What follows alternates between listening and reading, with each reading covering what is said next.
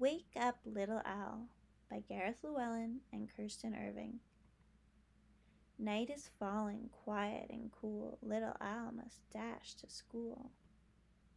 Bats and foxes are keen to learn, but little owl sleeps through her turn. As they play the night school song, little owl snores right along.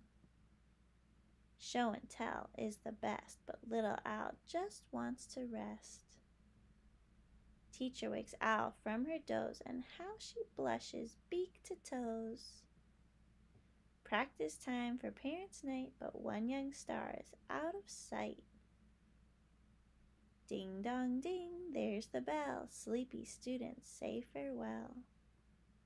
Little Owl has snoozed all night, now she's up feeling button bright. Little Owl, it's time to sleep. I don't want to hear a peep. Now it's time for you to rest. Mommy always knows what's best. If you'd like reading response activities to go with this book, click the link below the video. There's also a link to buy the book for screen-free story time. Please like, share, and subscribe for more read aloud videos like this. Thank you for reading with us.